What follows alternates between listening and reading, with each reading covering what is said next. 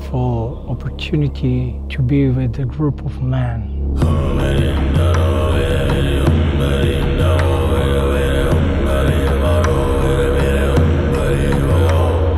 The trust was so so strong that you could really surrender surrender to these processes. It is such a field of permission to lean into those edges that we would not dare go to.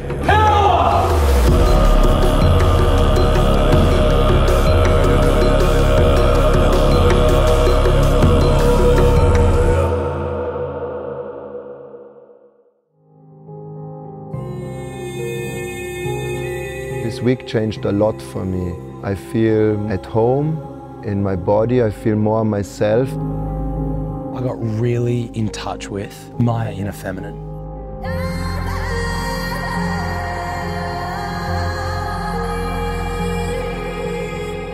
What we're doing here is this beautiful experiment into power, into how we can turn up in our own leadership, how we can be more authentic in our expression, which then allows us when we leave here and integrate this into our day-to-day lives, allows us to stand more in our truth, to speak the unspoken, to express from deeper parts within.